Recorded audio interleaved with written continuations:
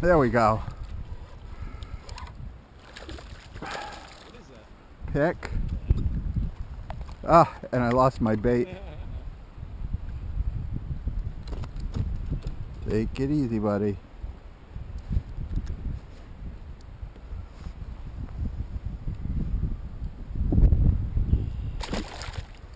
So that's what's been going after it over there.